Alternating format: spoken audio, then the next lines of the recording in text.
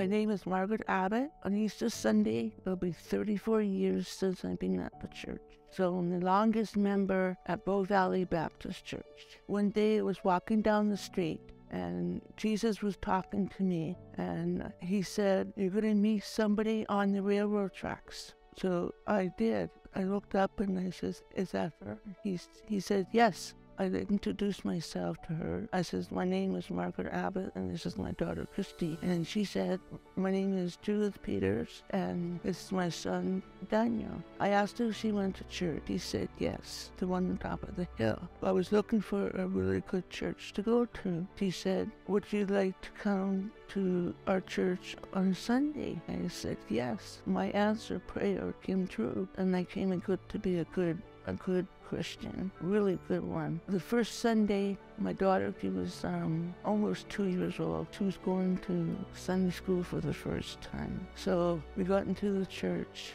and she goes, "Come on, mommy." Come on, mommy. And I knew what class she was going in. She goes in, and I go, bye, Christine, and slam goes the door. And that was it. So I looked and she went and played with her friends. And then the second Sunday, she took off her coat and she threw it and it landed on someone's foot.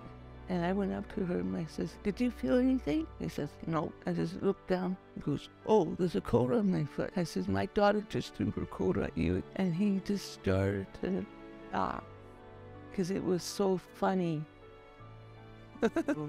this church is more important to me than any other church and I will not ever go to another church. Never.